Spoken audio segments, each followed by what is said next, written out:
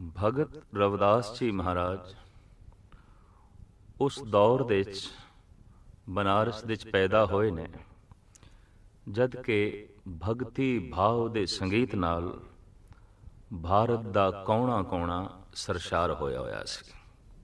ਹਰ ਪਾਸੇ ਭਗਤੀ ਲਹਿਰ, ਹਰ ਪਾਸੇ ਭਗਤ ਭਾਵਨਾ ਵਿੱਚ ਡੁੱਬੇ ਹੋਏ ਮਹਾਪੁਰਸ਼ ਸਾਹਿਬ ਗੁਰੂ ਨਾਨਕ ਦੇਵ ਜੀ ਮਹਾਰਾਜ ਦਾ ਵਾਕ ਹੈ, ਵੈਸੇ ਤਾਂ ਹਰ ਜੁਗ ਜੁਗ ਭਗਤ ਉਪਾਇਆ, ਪੈਜ ਰਖਦਾ ਆਇਆ RAM ਰਾਜੇ ਹਰ ਯੁਗ ਦੇ ਵਿੱਚ, ਹਰ ਸਮੇਂ ਵਿੱਚ ਭਗਤ ਹੁੰਦੇ ਰਹੇ ਨੇ ਸੰਤ ਹੁੰਦੇ ਰਹੇ ਨੇ ਲੇਕਿਨ ਭਾਰਤ ਦਾ ਮੱਧ ਕਾਲ ਭਗਤੀ ਕਾਲ ਮੰਨਿਆ ਗਿਆ ਜਿਸ ਦੇ ਵਿੱਚ ਚੌਂ ਦਿਸ਼ਾਵਾਂ ਦੇ ਵਿੱਚ ਭਗਤ ਹੀ ਭਗਤ ਪੈਦਾ ਹੋਏ।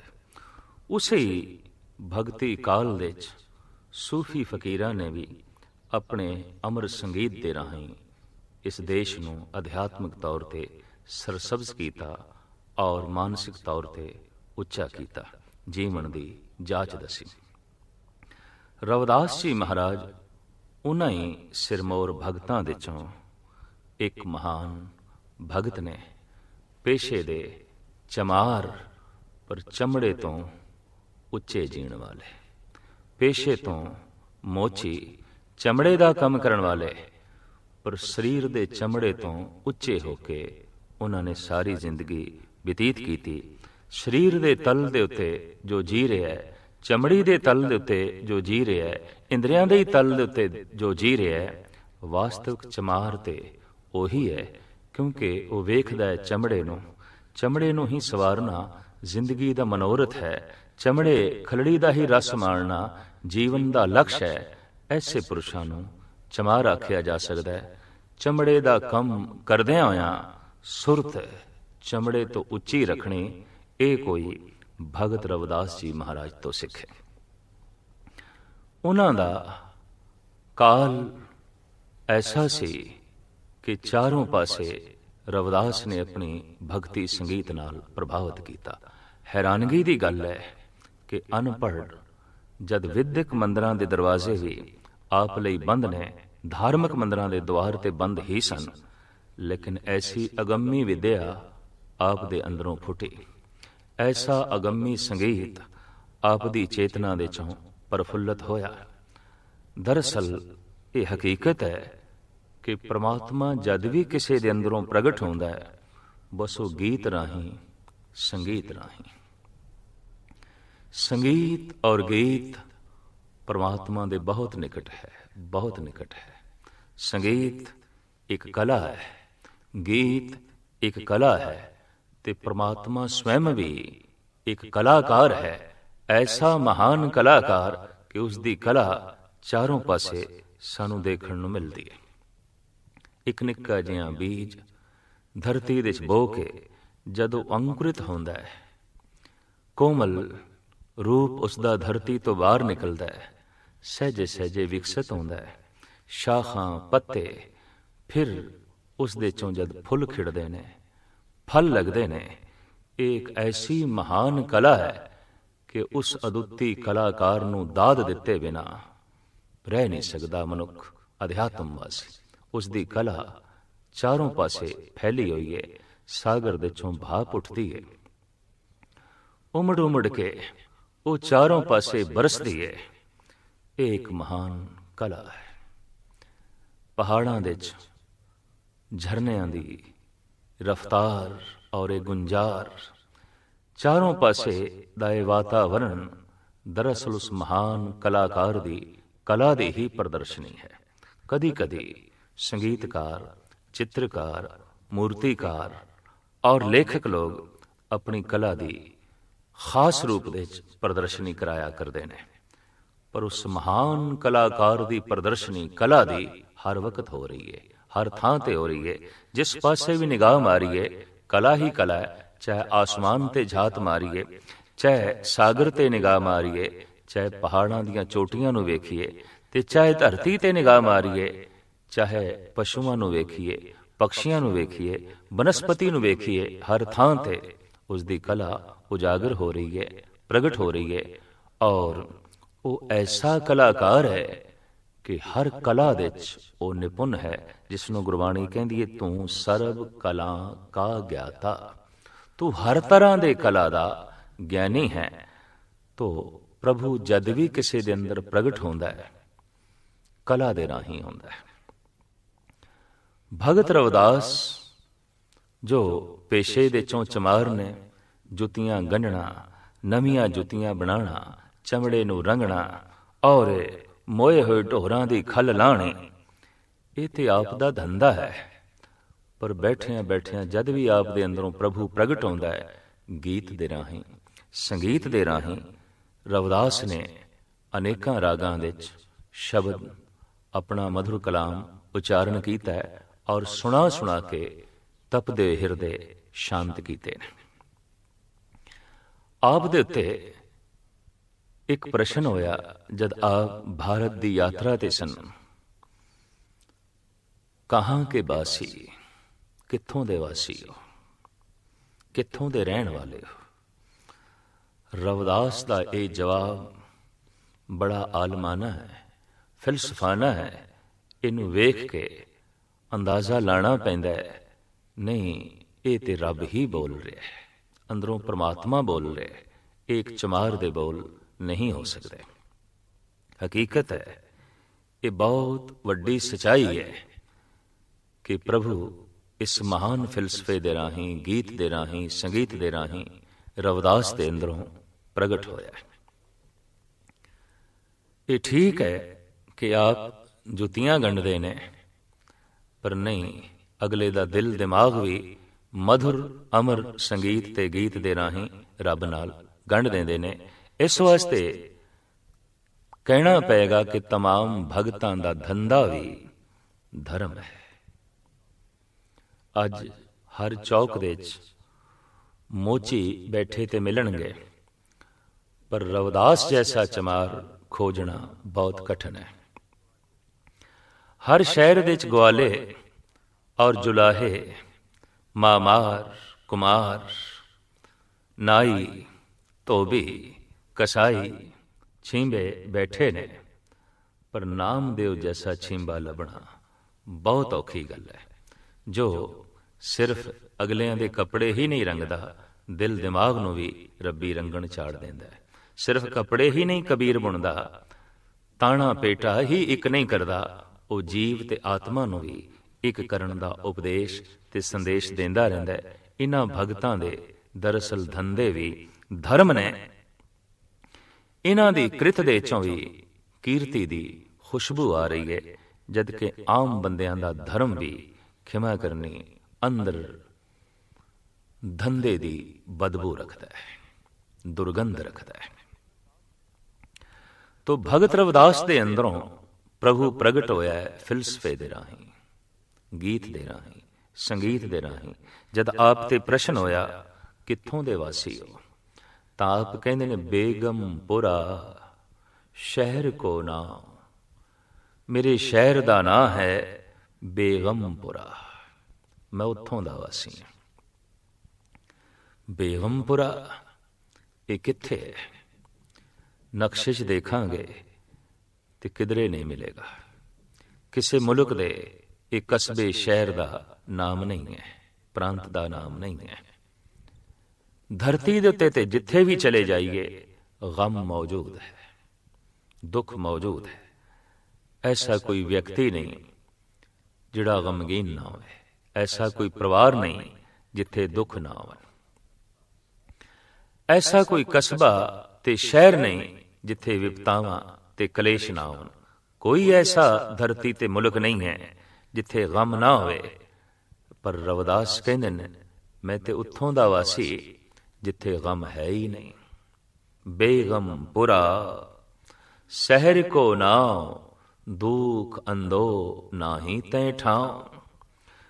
ਜਿਸ ਨਗਰੀ ਦਾ ਮੈਂ ਵਾਸੀ ਆ ਉੱਥੇ ਦੁੱਖ ਹੈ ਹੀ ਨਹੀਂ। ਉੱਥੇ ਪੀੜਾ ਹੈ ਹੀ ਨਹੀਂ। ਉੱਥੇ ਕਲੇਸ਼ ਹੈ ਹੀ ਨਹੀਂ। ਹੁਣ ਰਵਦਾਸ ਦੇ ਦਸੇ ਹੋਏ ਇਸ ਬੇਗਮਪੁਰੇ ਨੂੰ ਲੱਭੀਏ। ਜ਼ਮੀਨ ਦੇ ਉੱਤੇ ਜਿੱਥੇ ਗਮ ਨਹੀਂ, ਦੁੱਖ ਨਹੀਂ। ਤੋ ਧਰਤੀ ਦੇ ਉੱਤੇ ਤੇ ਐਸਾ ਲੱਭਣਾ ਬਹੁਤ ਔਖਾ ਹੈ ਜਦ ਕਿ ਹਰ ਬੰਦਾ ਗਮ ਦੀ ਸੇਜਾ ਤੇ ਹੀ ਸੁੱਤਾ ਹੈ। ਹਰ ਬੰਦਾ ਪੀੜਾ ਤੇ ਆਹ ਹੌਕਿਆਂ ਦੇ ਚ ਹੀ ਜ਼ਿੰਦਗੀ ਬਤੀਤ ਕਰਦਾ ਹੈ। ਜੈਸੇ ਕਿ ਉਰਦੂ ਦੇ ਸ਼ਾਇਰ ਦਾ ਕਹਿਣਾ ਹੈ ਕਬਾਬੇ ਸੀਖ ਹੈ ਹਮ ਕਰਵਟੇ ਹਰ ਸੂ ਬਦਲਤੇ हैं जो जल जाता है ये पहलू तो वो पहलू बदलते हैं इतनी दुख है इतनी पीड़ा है इतना कलेश है ਇਸ ਦੁੱਖ ਭਰੇ ਵਾਤਾਵਰਣ ਦੇ ਵਿੱਚ ਇਸ ਕਲੇਸ਼ ਭਰੇ ਸੰਸਾਰ ਦੇ ਵਿੱਚ ਰਵਦਾਸ ਕਹਿੰਦੇ ਨੇ ਮੇਰੀ ਨਗਰੀ ਦਾ ਨਾਂ ਹੈ ਬੇਗਮਪੁਰਾ ਉੱਥੇ ਦੁੱਖ ਨਹੀਂ ਹੈ ਉੱਥੇ ਹੋਰ ਵੀ ਕੁਝ ਨਹੀਂ ਹੈ ਕਿ ਨਾ ਤਸ਼ਵੀਸ਼, ਖਿਰਾਜ, ਨਾ ਮਾਲ, ਖੌਫ, ਨਾ ਖਤਾ, ਨਾ ਤਰਸ, ਜ਼ਵਾਲ। ਉੱਥੇ ਕੋਈ ਚਿੰਤਾ ਵੀ ਨਹੀਂ ਹੈ। ਮਨੁੱਖਤਾ ਦੇ ਉੱਤੇ ਦ੍ਰਿਸ਼ਟੀ ਮਾਰੀ ਹੈ ਤੇ ਹਰ ਬੰਦਾ ਚਿੰਤਾ ਦੇ ਚ ਜੀ ਰਿਹਾ ਹੈ। ਗੁਰੂ ਅਰਜਨ ਦੇਵ ਜੀ ਮਹਾਰਾਜ ਵੀ ਐਸਾ ਹੀ ਫਰਮਾਨ ਕਰਦੇ ਨੇ, ਚਿੰਤਤ ਹੀ ਦੀਸੈ ਸਭ ਕੋਏ ਸਾਰਾ ਜਗਤ ਚਿੰਤਾ ਦੇ ਵਿੱਚ ਹੀ ਦਿਖਾਈ ਦੇ ਰਿਹਾ ਹੈ। ਚਿੰਤਾ ਦੇ ਵਿੱਚ ਹੀ ਜੀ ਰਿਹਾ ਹੈ। ਚਾਰੋਂ ਪਾਸੇ ਦੇਖਦੇ ਹਾਂ ਮਨੁੱਖ ਦੀ ਅੱਖਾਂ ਦੇ ਚਿੰਤਾ, ਮਨੁੱਖ ਦੇ ਬੋਲਾਂ ਦੇ ਚਿੰਤਾ, ਮਨੁੱਖ ਦੇ ਚਿਹਰੇ ਦੇ ਚਿੰਤਾ। ਉੱਠਦਿਆਂ ਬੈਠਦਿਆਂ ਹੌਕੇ ਮਨੁੱਖ ਦੇ ਦੱਸਦੇ ਨੇ ਕਿ ਚਿੰਤਾ ਦੇ ਚ ਜੀ ਰਿਹਾ ਹੈ ਤੇ ਚਿੰਤਾ ਭਵਿਸ਼ ਦੀ ਹੀ ਹੁੰਦੀ ਹੈ। ਪਤਾ ਨਹੀਂ ਆਉਣ ਵਾਲਾ ਕੱਲ ਕੈਸਾ ਹੋਵੇਗਾ ਇਸ ਦੀ ਚਿੰਤਾ ਪਰ ਰਵਦਾਸ ਕਹਿੰਦੇ ਨੇ ਮੇਰੀ ਨਗਰੀ ਦੇ ਵਿੱਚ ਚਿੰਤਾ ਹੈ ਹੀ ਨਹੀਂ ਜੀਵਨ ਦਾ ਇੱਕ ਢੰਗ ਹੈ ਇਹ ਨਗਰੀ ਬਾਹਰ ਨਹੀਂ ਹੈ ਇਹ ਸ਼ਹਿਰ ਕਿਸੇ ਨਕਸ਼ੇ ਵਿੱਚ ਦੇਖਾਂਗੇ ਤੇ ਨਹੀਂ ਮਿਲੇਗਾ ਦਰਸਲ ਇੱਕ ਹਾਲਤ ਹੈ ਇਹ ਮਨ ਦੀ ਇੱਕ ਅਵਸਥਾ ਹੈ ਇੱਕ ਜੀਵਨ ਦਾ ਢੰਗ ਹੈ ਇੱਕ ਆਲਮ ਦਾ ਕਹਿਣਾ ਹੈ जो हंस रहा है, सो हंस रहेगा। जो रो रहा है, सो रो रहेगा। सकूने कलब से खुदा खुदा कर, जो कुछ के होना है, सो हो रहेगा। तुम अपना सकून कलब नाश ना कर। जो कुछ होना है, वो तेरे कीतियाँ टलना नहीं, रुकना नहीं। हाँ तो इतना ही कर सकता है कि जो कुछ होना है ਇਹਨੂੰ ਖਿੜੇ ਮੱਥੇ تسلیم ਕਰ ਲੈ ਜੋ ਕੁਝ ਹੋਣਾ ਹੈ ਇਹਨੂੰ ਖਿੜੇ ਮੱਥੇ ਪ੍ਰਵਾਨ ਕਰ ਲੈ ਜੋ ਕੁਝ ਹੋਣਾ ਹੈ ਉਹਨੂੰ ਆਪਣੀ ਝੋਲੀ ਦੇ ਚ ਪਾ ਲੈ ਤੋ ਰਵਦਾਸ ਕਹਿੰਦੇ ਨੇ ਜਿਸ ਸ਼ਹਿਰ ਦਾ ਮੈਂ ਵਾਸੀ ਉੱਥੇ ਚਿੰਤਾ ਨਹੀਂ ਹੈ ਨਾ ਤਸ਼ਵੀਸ਼ ਖਿਰਾਜ ਨਾ ਮਾਲ ਖਿਰਾਜ ਟੈਕਸ ਦੁਨੀਆ ਦੇ ਚ ਰਹਿੰਦੇ ਆ ਜੈਸੇ ਜੈਸੇ ਬੰਦੇ ਦੀ ਧਨ ਸੰਪਦਾ ਵੱਧਦੀ ਹੈ ਮਾਲ ਅਸਬਾਬ ਵੱਧਦਾ ਹੈ ਤਾਂ ਟੈਕਸ ਵੀ ਵੱਧਦਾ ਹੈ।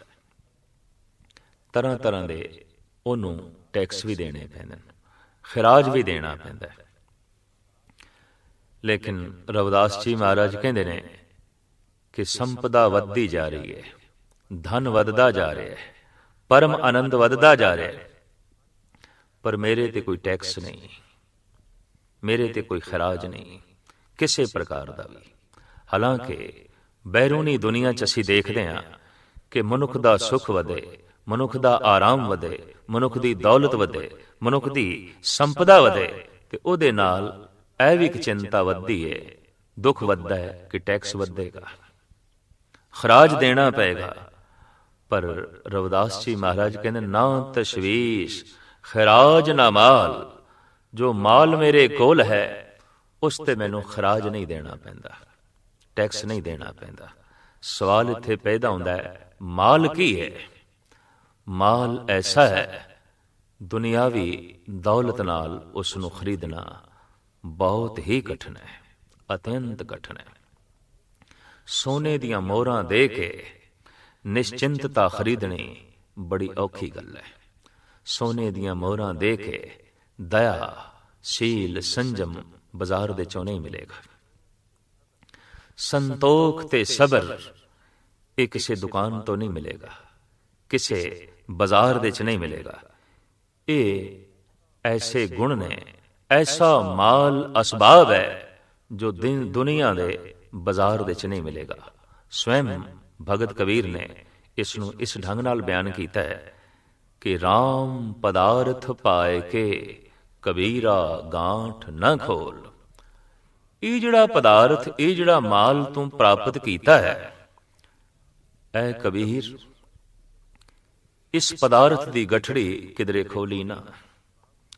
ਇਸ ਮਾਲ ਅਸਬਾਬ ਦੀ ਗਠੜੀ ਕਿਦਰੇ ਖੋਲੀ ਨਾ। ਕਿਉਂ? ਕਿ ਐਸਾ ਬੈਰੂਨੀ ਦੁਨੀਆ ਵਿੱਚ ਕੋਈ ਬਾਜ਼ਾਰ ਹੀ ਨਹੀਂ ਹੈ।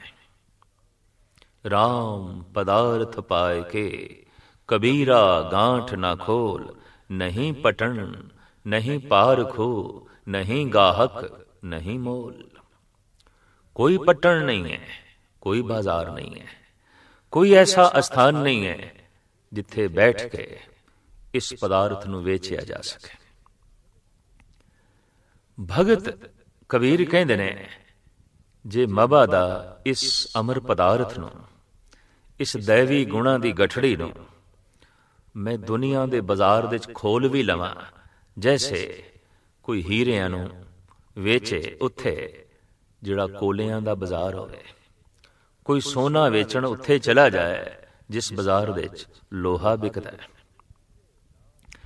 ਕੋਈ ਹੀਰੇ ਲਾਲ ਪੰਨੇ ਜਵਾਹਰਾਤ ਉਸ ਥਾਂ ਤੇ ਵੇਚਣ ਚਲਾ ਜਾਏ, ਜਿੱਥੇ ਇੱਟਾਂ ਵਿਕਦੀਆਂ ਨੇ, ਲੱਕੜਾਂ ਵਿਕਦੀਆਂ ਨੇ।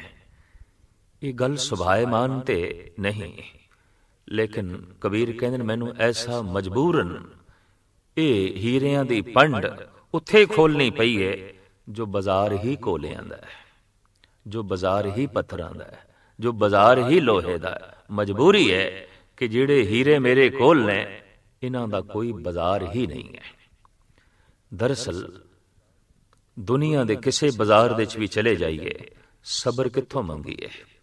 ਸੰਤੋਖ ਕਿੱਥੋਂ ਮੰਗੀਏ? ਕਿਹੜੀ ਦੁਕਾਨ ਤੋਂ ਮੰਗੀਏ? ਸੀਲ ਸੰਜਮ ਦਇਆ ਕਿਸ ਦੁਕਾਨ ਤੋਂ ਮੰਗੀਏ? ਇਹ ਦੇਵੀ ਗੁਣਾ ਦੀ ਦੌਲਤ। ਇਸ ਦੇ ਕੋਈ ਬਾਜ਼ਾਰ ਨਹੀਂ ਨੇ। ਨਹੀਂ ਪਠਣ ਨਹੀਂ ਪਾਰਖੋ ਆਮ ਬਾਜ਼ਾਰ ਵਿੱਚ ਭਗਤ ਕਬੀਰ ਕਹਿੰਦੇ ਜੇ ਮੈਂ ਬੈਠ ਵੀ ਜਾਵਾਂ ਤਾਂ ਵਾਕਈ ਇਹ ਰੱਬ ਦੀਆਂ ਮਹਾਨ ਗੱਲਾਂ ਆਮ ਬਾਜ਼ਾਰ ਵਿੱਚ ਹੀ ਕਹਿਣੀਆਂ ਪੈਂਦੀਆਂ ਆਮ ਦੁਨੀਆਦਾਰਾਂ ਦੇ ਸਾਹਮਣੇ ਹੀ ਰੱਖਣੀਆਂ ਪੈਂਦੀਆਂ ਨੇ। ਜਿੱਥੇ ਵਾਕਈ ਐਸਾ ਦੇਖਣ ਦੇ ਚਾਇਆ ਹੈ, ਕੋਈ ਪਾਰਖੂ ਹੀ ਨਹੀਂ ਆਉਂਦਾ। ਕਿਉਂਕਿ ਕੋਲਿਆਂ ਦੀ ਮੰਡੀ ਦੇ ਵਿੱਚ ਤੇ ਕੋਲਿਆਂ ਦੇ ਪਾਰਖੂ ਆਣਗੇ ਪੱਥਰਾਂ ਦੀ ਮਾਰਕੀਟ ਦੇ ਵਿੱਚ ਪੱਥਰਾਂ ਦੇ ਜਾਣਕਾਰ ਆਣਗੇ ਲੱਕੜ ਮੰਡੀ ਦੇ ਵਿੱਚ ਲੱਕੜਾਂ ਦੇ ਖਰੀਦਾਰ ਆਉਣਗੇ ਤੇ ਲੱਕੜਾਂ ਦੇ ਪਾਰਖੂ ਆਣਗੇ ਇਹ ਕਿਹੜੀ ਲੱਕੜ ਹੈ? ਚੰਗੀ ਹੈ। ਮਾੜੀ ਹੈ, ਇਮਾਰਤੀ ਹੈ, ਜਲਾਉ ਹੈ। ਲੱਕੜਾਂ ਦੇ ਹੀ ਖਰੀਦਾਰ ਆਉਣਗੇ ਲੱਕੜ ਮੰਡੀ ਦੇ ਵਿੱਚ ਤੇ ਲੋਹਾ ਮੰਡੀ ਦੇ ਵਿੱਚ। ਲੋਹੇ ਦੇ ਹੀ ਖਰੀਦਾਰ ਆਉਣਗੇ। ਭਗਤ ਕਬੀਰ ਕਹਿੰਦੇ ਨੇ ਇਹਨਾਂ ਮੰਡੀਆਂ 'ਚ ਮੈਂ ਬੈਠ ਗਿਆ ਹੀਰਿਆਂ ਦਾ ਵਪਾਰ ਕਰਨ ਲਈ। ਹੀਰਿਆਂ ਦੀ ਪੰਡ ਖੋਲ ਕੇ ਮੈਂ ਉੱਥੇ ਬੈਠ ਗਿਆ। ਅਕਸਰ ਭਗਤ ਲੋਕਾਂ ਨੇ ਪ੍ਰਭੂ ਦੇ ਗੀਤ ਉਹਨਾਂ ਲੋਕਾਂ ਨੂੰ ਸੁਣਾਏ ਨੇ। ਜੋ ਪ੍ਰਭੂ ਦੇ ਗੀਤ ਨਾ ਸੁਣਨਾ ਚਾਹੁੰਦੇ ਸਨ ਤੇ ਨਾ ਹੀ ਉਹਨਾਂ ਦੀ ਸੂਝ ਤੇ ਸਮਝ ਸੀ। ਇਹੀ ਕਾਰਨ ਹੈ ਕਿ ਭਗਤ ਜੋ ਕਹਿੰਦੇ ਰਹੇ, ਸੰਸਾਰ ਦਾ ਉਹਨਾਂ ਬੋਲਾਂ ਨਾਲ ਤਾਲਮੇਲ ਨਹੀਂ ਬੈਠਦਾ ਰਿਹਾ। ਸੰਸਾਰ ਵਿਰੋਧਤਾ ਕਰਦਾ ਰਿਹਾ। ਤੋ ਭਗਤ ਜੀ ਕਹਿੰਦੇ ਨੇ, ਕੋਈ ਪਾਰਖ ਹੀ ਨਹੀਂ ਹੈ, ਮੈਂ ਬੈਠਾ। ਲੋਕੀ ਕੋਲੇ ਖਰੀਦਦੇ ਪਏ ਨੇ, ਇੱਟਾਂ ਖਰੀਦਦੇ ਪਏ ਨੇ, ਪੱਥਰ ਖਰੀਦ ਰਹੇ ਨੇ, ਲੋਹਾ ਖਰੀਦ ਰਹੇ ਨੇ ਲੱਕੜਾਂ ਖਰੀਦ ਰਹੇ ਨੇ। ਤੇ ਮੈਂ ਪੋਟਲੀ ਖੋਲ ਕੇ ਬੈਠਾ, ਮੇਰੀ ਤਰਫ ਕੋਈ ਆਉਂਦਾ ਹੀ ਨਹੀਂ। ਕੋਈ ਖਰੀਦਾਰ ਹੀ ਨਹੀਂ, ਕੋਈ ਪਾਰਖੋ ਨਹੀਂ। ਨਹੀਂ ਪਟਣ, ਨਹੀਂ ਪਾਰਖੋ ਨਹੀਂ ਗਾਹਕ। ਫਿਰ ਕੋਈ ਖਰੀਦਾਰ ਹੀ ਨਹੀਂ, ਗਾਹਕ ਹੀ ਨਹੀਂ ਹੈ। ਜੋ ਚੀਜ਼ ਮੇਰੇ ਕੋਲ ਹੈ, ਇਸ ਦਾ ਕੋਈ ਖਰੀਦਾਰ ਹੀ ਨਹੀਂ ਹੈ। ਦੇਖਣ ਦੇ ਚਾਇਆ ਹੈ, ਇੱਕ ਰਾਜਨੀਤਿਕ ਦੇ ਪਿੱਛੇ ਜਿਤਨੀ ਭੀੜ ਚੱਲ ਪੈਂਦੀ ਹੈ। ਇੱਕ ਧਨਵਾਨ ਦੇ ਆਲੇ ਜਿਤਨੀ ਦੁਨੀਆ ਮੰਡਲਾਉਂਦੀ ਹੈ ਅਧਿਆਤਮ ਦਰਸੀ ਦੀ ਜੀਵਦਿਆਂ ਜੀ ਕਰੀਬਨ ਕਰੀਬਨ ਸੰਸਾਰ ਨੇ ਵਿਰੋਧਤਾ ਹੀ ਕੀਤੀ ਹੈ ਉਹਦੇ ਬੋਲਾਂ ਨਾਲ, ਉਹਦੀ ਜ਼ਿੰਦਗੀ ਨਾਲ ਜਗਤ ਸਹਿਮਤ ਨਹੀਂ ਹੋਇਆ। ਤੋ ਸ਼੍ਰੀ ਕਬੀਰ ਕਹਿੰਦੇ ਨੇ ਕੋਈ ਗ੍ਰਾਹਕ ਹੀ ਨਹੀਂ ਹੈ। ਤੇ ਜੇ ਮਬਾ ਦਾ ਇਸ ਬਹੁਤੀ ਭੀੜ ਦੇ ਵਿੱਚ ਜੋ ਕੋਲਿਆਂ ਦੇ ਗ੍ਰਾਹਕ ਨੇ, ਲੋਹੇ ਦੇ ਗ੍ਰਾਹਕ ਨੇ, ਕਿਧਰੇ ਇੱਕ ਕਦ ਇਸ ਹੀਰੇ ਦਾ ਗ੍ਰਾਹਕ ਆ ਵੀ ਜਾਏ, ਪਰਖੂ ਆ ਵੀ ਜਾਏ, ਤਾਂ ਨਹੀਂ ਮੋਲ ਉਹ ਮੁੱਲ ਦੇਣ ਨੂੰ ਤਿਆਰ ਨਹੀਂ। ਉਹ ਮੁੱਲ ਨਹੀਂ ਉਤਾਰਦਾ। ਸਮਝ ਤੇ ਹੈ, ਇਹ ਹੀਰਾ ਹੈ। ਪਰਖ ਤੇ ਹੈ ਉਸ ਨੂੰ ਔਰ ਉਹ ਖਰੀਦਾਰ ਵੀ ਹੈ, ਲੇਕਿਨ ਮੁੱਲ ਨਹੀਂ ਦੇਣਾ ਚਾਹੁੰਦਾ। ਇੱਥੇ ਸਵਾਲ ਪੈਦਾ ਹੁੰਦਾ ਹੈ, ਮੁੱਲ ਕੀ ਹੈ? ਕੰਚਨ ਸਿਉ, ਪਾਈਏ ਨਹੀਂ ਤੋਲ, ਮਨ ਦੇ RAM ਲਿਆ ਹੈ ਮੋਲ। ਮਨ ਹੀ ਉਸ ਦਾ ਮੁੱਲ ਹੈ। ਆਪਣਾ ਮਨ ਭੇਟ ਕਰੀਏ ਤੇ RAM ਨਾਮ ਦਾ ਹੀਰਾ ਪ੍ਰਾਪਤ ਕਰੀਏ, ਪਰ ਇਹ ਮੁੱਲ ਦੇਣ ਨੂੰ ਕੋਈ ਤਿਆਰ ਹੀ ਨਹੀਂ। ਇਸ ਵਾਸਤੇ ਖਰੀਦਾਰ ਹੁੰਦੇ ਹੋਇਆਂ ਵੀ, ਪਾਰਖੂ ਹੁੰਦੇ ਹੋਇਆਂ ਵੀ, ਸੂਝ ਸਮਝ ਰੱਖਦੇ ਹੋਇਆਂ ਵੀ, ਕਈ ਮਨੁੱਖ ਇਸ ਮਹਾਨ ਹੀਰਿਆਂ ਤੋਂ ਵਾਂਝੇ ਰਹਿ ਜਾਂਦੇ ਨੇ ਕਿਉਂਕਿ ਮੁੱਲ ਨਹੀਂ ਉਤਾਰਦੇ। ਮੁੱਲ ਜੋ ਹੈ ਨਹੀਂ ਦੇਣਾ ਚਾਹੁੰਦੇ। ਤੋਂ ਆਮ ਇਹਨਾਂ ਬ੍ਰਹਮ ਗਿਆਨੀਆਂ ਨੂੰ, ਭਗਤ ਲੋਕਾਂ ਨੂੰ ਇਹ ਆਪਣੇ ਬੋਲ ਐਨ ਸੰਸਾਰੀ ਮਨੁੱਖਾਂ ਦੇ ਸਾਹਮਣੇ ਰੱਖਣੇ ਪਏ। ਸ਼੍ਰੀ ਰਵਿਦਾਸ ਜੀ ਮਹਾਰਾਜ ਕਹਿੰਦੇ, ਨਾ ਤਸ਼ਵੀਸ਼ ਖਰਾਜ ਨਾ ਮਾਲ ਮਾਲ ਮੇਰਾ ਵੱਧਦਾ ਜਾ ਰਿਹਾ ਹੈ। ਧਨ ਪਦਾਰਥ ਮੇਰਾ ਵੱਧਦਾ ਜਾ ਰਿਹਾ ਹੈ। ਪਰ ਇਸ ਤੇ ਮੈਨੂੰ ਕੋਈ ਖਰਾਜ ਨਹੀਂ ਦੇਣਾ ਪੈਂਦਾ। ਇਸ ਤੇ ਮੈਨੂੰ ਕੋਈ ਟੈਕਸ ਨਹੀਂ ਦੇਣਾ ਪੈਂਦਾ। ਖੌਫ ਨਾ ਖਤਾ, ਨਾ ਤਰਸ ਜ਼ਵਾਲ। ਫਿਰ ਜਿਸ ਸ਼ਹਿਰ ਦੇ ਵਿੱਚ ਮੈਂ ਰਹਿਣਾ ਉੱਥੇ ਕਿਸੇ ਪ੍ਰਕਾਰ ਦਾ ਕੋਈ ਖੌਫ ਨਹੀਂ, ਡਰ ਨਹੀਂ। ਅੱਜ ਤੇ ਅਸੀਂ ਦੇਖਦੇ ਹਾਂ ਕਿ ਜੰਗਲਾਂ ਦੇ ਵਿੱਚ ਖੌਫ ਖਤਮ ਹੁੰਦਾ ਜਾ ਰਿਹਾ ਹੈ, ਸ਼ਹਿਰਾਂ ਦੇ ਵਿੱਚ ਖੌਫ ਵੱਧਦਾ ਜਾ ਰਿਹਾ ਹੈ। ਜੰਗਲਾਂ ਵਿੱਚ ਜੰਗਲੀ ਜਾਨਵਰ ਘਟਦੇ ਜਾ ਰਹੇ ਨੇ, ਸ਼ਹਿਰਾਂ ਵਿੱਚ ਜੰਗਲੀ ਜਾਨਵਰ ਵੱਧਦੇ ਜਾ ਰਹੇ ਨੇ।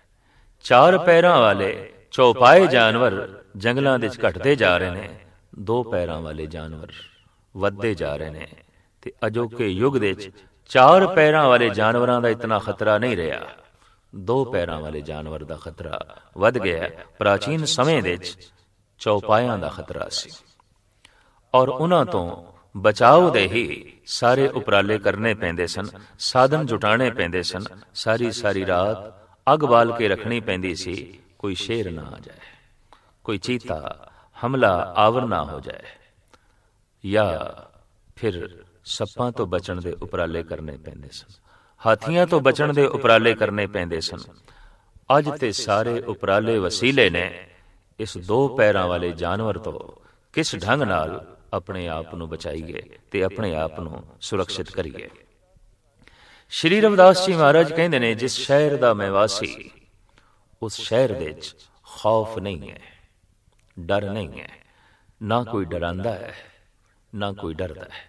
ਦਰਅਸਲ ਇਹੀ ਬ੍ਰਹਮ ਗਿਆਨੀ ਦੇ ਲਕਸ਼ਣ ਨੇ। ਗੁਰੂ ਤੇਗ ਬਹਾਦਰ ਸਾਹਿਬ ਜੀ ਮਹਾਰਾਜ ਫਰਮਾਨ ਕਰਦੇ ਨੇ ਭੈ ਕਾਹੂ ਕੋ ਦੇਤ ਨੈ ਨੈ ਭੈ ਮਾਨਤ ਆਨ ਕਹੋ ਨਾਨਕ ਸੁਨ ਰੇ ਮਨਾ?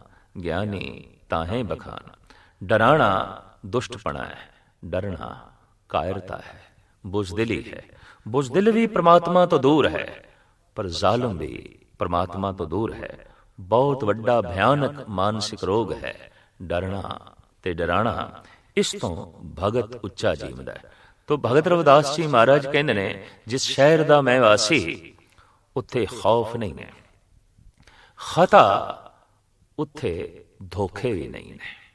ਉੱਥੇ ਛਲ ਨਹੀਂ ਹੈ। ਉੱਥੇ ਕਪਟ ਨਹੀਂ ਹੈ। ਜਿਸ ਦੁਨੀਆ ਦਾ ਮੈਂ ਵਾਸੀ ਹਾਂ, ਜਿਸ ਸ਼ਹਿਰ ਦਾ ਮੈਂ ਵਾਸੀ ਹਾਂ, ਉੱਥੇ ਧੋਖਾ ਨਹੀਂ ਹੈ। ਧੋਖਾ ਦੇਣਾ, ਧੋਖਾ ਖਾਣਾ ਇਹਨਾਂ ਦੋਹਾਂ ਤੋਂ ਉੱਚੀ ਜ਼ਿੰਦਗੀ ਹੈ। ਇਹਨਾਂ ਦੋਹਾਂ ਤੋਂ ਉੱਚਾ ਜੀਵਨ ਹੈ ਤੇ ਜ਼ਵਾਲ ਕਹਿੰਦੇ ਨੇ ਢੈਂਦੀ ਕਲਾ ਨੂੰ, ਪਸਤੀ ਨੂੰ। ਉਨ ਤੇ ਆਲਮਾਂ ਦਾ ਕਹਿਣਾ ਹੈ, ਹਰ ਕਮਾਲੇ ਰਾ ਜ਼ਵਾਲ। ਕੋਈ ਐਸਾ ਕਮਾਲ ਨਹੀਂ ਜੋ ਜ਼ਵਾਲ ਦੀ ਤਰਫ ਨਹੀਂ ਜਾਂਦਾ। ਕੋਈ ਐਸਾ ਚੜਨਾ ਨਹੀਂ ਜੋ ਟਹਿੰਦੀ ਕਲਾ ਦੀ ਨਹੀਂ ਤਰਫ ਨਹੀਂ ਜਾਂਦਾ। ਊਚੰ ਤਾਂ ਨੀਚੰ, ਨਾਨਾ ਸੋ ਮੂਚੰ ਸਾਹਿਬ ਸ੍ਰੀ ਗੁਰੂ ਅਰਜਨ ਦੇਵ ਜੀ ਮਹਾਰਾਜ ਦਾ ਕਹਿਣਾ, ਊਚਾ ਚੜੇ ਸੋ ਜਾਏ ਭਿਆਲਾ ਜੋ ਉੱਪਰ ਜਾ ਰਿਹਾ ਹੈ, ਆਖਰ ਥੱਲੇ ਆਏਗਾ। ਜੋ ਉੱਚਾ ਉੱਠ ਰਿਹਾ ਹੈ ਆਖਰ ਥੱਲੇ ਆਏਗਾ। ਬੱਚਾ ਵਧ ਰਿਹਾ ਹੈ ਵਧ ਰਿਹਾ ਹੈ। ਤਾਕਤ ਵਧ ਰਹੀ ਹੈ ਸੁੰਦਰਤਾ ਵਧ ਰਹੀ ਹੈ ਸ਼ਕਤੀ ਵਧ ਰਹੀ ਹੈ। ਅੱਜ ਬੁੱਢਾ ਹੋ ਗਿਆ ਹੁਣ ਘਟਣਾ ਘਟਣਾ ਘਟ ਜਾਏਗਾ। ਹੁਣ ਢੈਂਦੀ ਕਲਾ।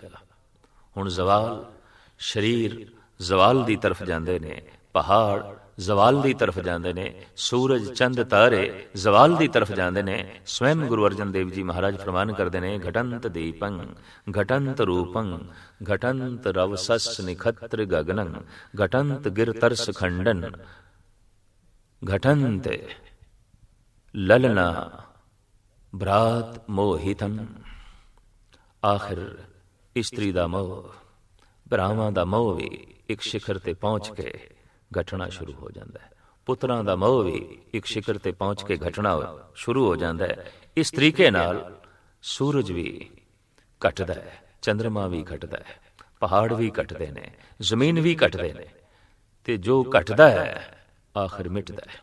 ਜੋ ਵੱਧਦਾ ਹੈ, ਉਹ ਘਟਦਾ ਹੈ, ਜੋ ਘਟਦਾ ਹੈ, ਉਹ ਮਿਟਦਾ ਹੈ। ਇਹ ਨਿਯਮ ਸਭ ਤੇ ਲਾਗੂ ਹੈ।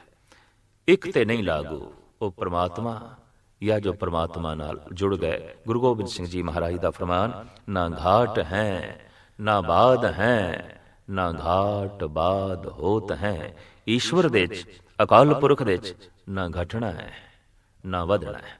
ਬਾਕੀ ਹਰ ਚੀਜ਼ ਵਾਧੇ ਦੀ ਤਰਫ ਜਾਂਦੀ ਹੈ ਤੇ ਵਾਧੇ ਤੋਂ ਬਾਅਦ ਫਿਰ ਘਾਟੇ ਦੀ ਤਰਫ ਜਾਂਦੀ ਹੈ ਤੇ ਘਾਟੇ ਤੋਂ ਬਾਅਦ ਫਿਰ ਮਿਟ ਜਾਂਦੀ ਹੈ ਵਧਣਾ, ਘਟਣਾ, ਮਿਟਣਾ, ਇਹ ਨਿਯਮ ਹਰ ਇੱਕ ਤੇ ਲਾਗੂ ਹੈ। ਹਰ ਵਸਤੂ ਤੇ, ਹਰ ਜੀਵ ਤੇ, ਹਰ ਆਕਾਰ ਤੇ। ਪਰ ਸ਼੍ਰੀ ਰਵਿਦਾਸ ਜੀ ਮਹਾਰਾਜ ਕਹਿੰਦੇ ਜਿਸ ਸ਼ਹਿਰ ਦਾ ਮੈਂ ਵਾਸੀ ਹਾਂ, ਉੱਥੇ ਜ਼ਵਾਲ ਹੈ ਹੀ ਨਹੀਂ। ਉੱਥੇ ਘਟਣਾ ਹੈ ਹੀ ਨਹੀਂ। ਤੇ ਜਦ ਘਟਣਾ ਹੀ ਨਹੀਂ, ਤਾਂ ਫਿਰ ਮਿਟਣਾ ਵੀ ਨਹੀਂ ਹੈ। ਅਮਿਟ ਦੁਨੀਆ ਦੀ ਪ੍ਰਾਪਤੀ ਹੋ ਜਾਂਦੀ ਹੈ। ਅਮਿਟ ਸੰਸਾਰ, ਅਮਿਟ ਆਨੰਦ, ਅਮਿਟ ਸੁਖ, ਜੋ ਨੇਸ ਤੋਂ ਨਾਬੂਦ ਹੋ ਹੀ ਨਹੀਂ ਸਕਦਾ। ਨਾ ਤਸਵੀਸ, ਖਰਾਜ ਨਾ ਮਾਲ, ਖੌਫ ਨਾ ਖਤਾ ਨਾ ਤਰਸ ਜ਼ਵਾਲ, ਅਬ ਮੈਂ ਖੂਬ ਵਤਨ ਗਹਿ ਪਾਈ ਉਆ ਖੈਰ, ਸਦਾ ਮੇਰੇ ਭਾਈ। ਉਸ ਸ਼ਹਿਰ ਦੇ ਚ ਸਦੀਵੀ ਖੈਰ ਬਣਿਆ ਹੋਇਆ ਹੈ ਸਦਾ ਹੀ ਖੈਰ। ਸਦਾ ਹੀ ਚੜਦੀਆਂ ਕਲਾ, ਕਦੀ ਮਾੜੀ ਖਬਰ ਨਹੀਂ ਆਉਂਦੀ। ਜ਼ਮੀਨ ਦੇ ਉੱਤੇ ਕੋਈ ਐਸਾ ਮੁਲਕ ਨਹੀਂ ਜਿੱਥੇ ਰੋਜ਼ ਕੋਈ ਨਾ ਕੋਈ ਮਾੜੀ ਖਬਰ ਨਾ ਆਵੇ।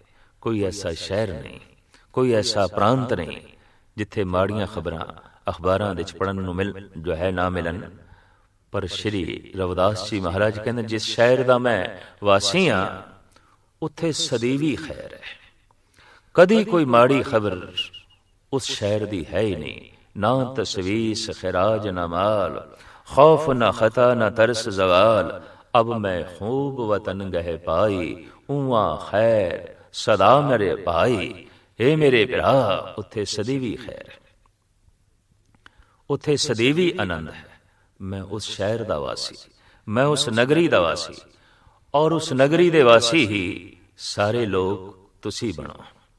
ਹਕੀਕਤ ਹੈ, ਬੈਰੂਨੀ ਦੁਨੀਆ ਵਿੱਚ ਜਿਸ ਮੁਲਕ ਦੇ ਸੁੱਖ ਜ਼ਿਆਦਾ ਹੋਵੇ, ਉਹ ਮੁਲਕ ਬਾਕੀ ਲੋਕਾਂ ਲਈ ਆਪਣੇ ਮੁਲਕ ਦੇ ਦਰਵਾਜ਼ੇ ਬੰਦ ਕਰ ਦਿੰਦੇ ਨੇ। ਦੁਖੀ ਲਈ ਕਮਜ਼ੋਰ ਲਈ ਗਰੀਬਾਂ ਲਈ ਆਪਣੇ ਮੁਲਕ ਦੇ ਦਵਾਰ ਬੰਦ ਕਰ ਦਿੰਦੇ ਨੇ। ਐਸਾ ਅਸੀਂ ਧਰਤੀ ਤੇ ਦੇਖਦੇ ਹਾਂ। ਇੱਕ ਪ੍ਰਾਂਤ ਦੇ ਵਿੱਚ ਬਹੁਤ ਕੁਝ ਹੋਵੇ ਤੇ ਬਹੁਤ ਕੁਝ ਪ੍ਰਾਕਿਰਤਿਕ ਸੰਪਦਾ ਹੋਵੇ, ਉਹ ਪ੍ਰਾਂਤ ਵੀ ਦੂਸਰੇ ਪ੍ਰਾਂਤ ਲਈ ਦਵਾਰ ਬੰਦ ਕਰਦਾ ਹੈ।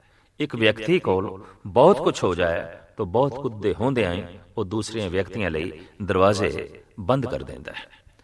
ਪਰ ਰਵਦਾਸ ਕਹਿੰਦੇ ਜਿਸ ਸ਼ਹਿਰ ਦਾ ਮੈਂ ਵਾਸੀਆਂ ਬੇਗਮਪੁਰੇ ਦਾ ਇਸ ਸ਼ਹਿਰ ਦੇ ਬੂਹੇ ਹਰ ਇੱਕ ਲਈ ਖੁੱਲੇ ਨੇ। ਕੋਈ ਵੀ ਆਵੇ, ਇਸ ਬੋਗਮਪੁਰੇ ਦੇ ਚ ਵਸੇ ਤੇ ਆਨੰਦ ਲਵੇ, ਸੁਖ ਚੈਨ ਲਵੇ, ਮੈਂ ਸਭ ਨੂੰ ਆਵਾਜ਼ ਮਾਰਿਆ, ਸਭ ਨੂੰ ਢਡੋਰਾ ਪਿੱਟ ਕੇ ਬੁਲਾ ਰਿਹਾ।